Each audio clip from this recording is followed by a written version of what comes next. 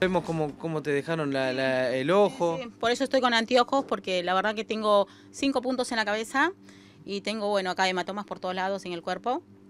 Fue una chica de 22 años, eh, Sofía Olate, de acá del barrio.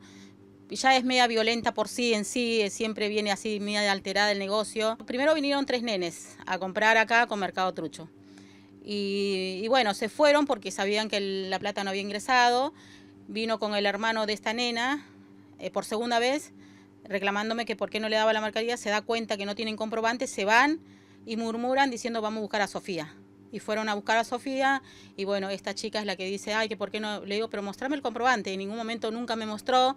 De hecho, hace poquito, ayer lo sacaron, la madre lo sacó por el grupo del, del barrio, pero es trucho, o sea, el comprobante es trucho porque hasta hoy en día el pago no me llega. Y me empezó a golpear, que decía que sí, que le tengo que dar la mercadería, que le estoy estafando. Pero ¿cómo estafando? Mostrame el comprobante.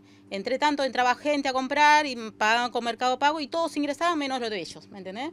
Entonces, por tanto, le dije que no se lleven la mercadería. Pero ella insistía y ahí fue la agresión que empezó a tirarme con, con todo lo que se veía que está en el video. No, no le tengo miedo. No, no, porque si llega a pasar algo, obviamente es ella.